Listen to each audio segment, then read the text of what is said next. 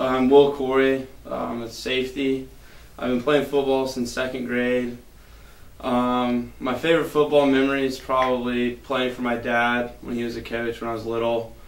Um, and I think the thing I'm going to miss most about playing football at Athens Academy is uh, playing for Coach Chuboff and seeing him every day and kind of getting to know him and kind of growing up under his uh, his guidance.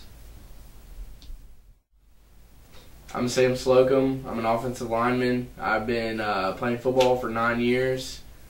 Uh, my favorite football memory was beating George Walton at the end of my junior season in overtime.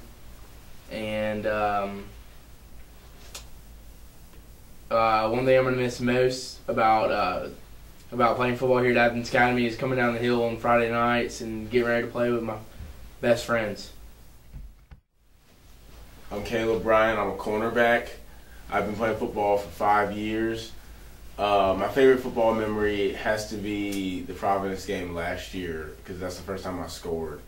And uh, the one thing I'm going to miss most about playing here at Athens Academy is just like the whole atmosphere of Slaughterfield on our, our, Friday night, just the student section, everything like that.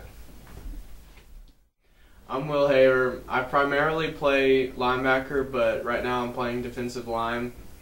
I've been playing football since about the fourth grade, and my favorite memory of Athens Academy football was probably the George Walton game my freshman year when they missed the field goal. Go.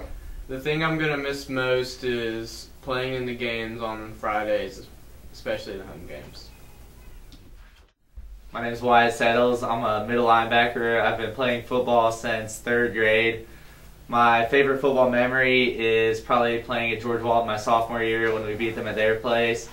And what I'm going to miss most is playing with my boys on Friday nights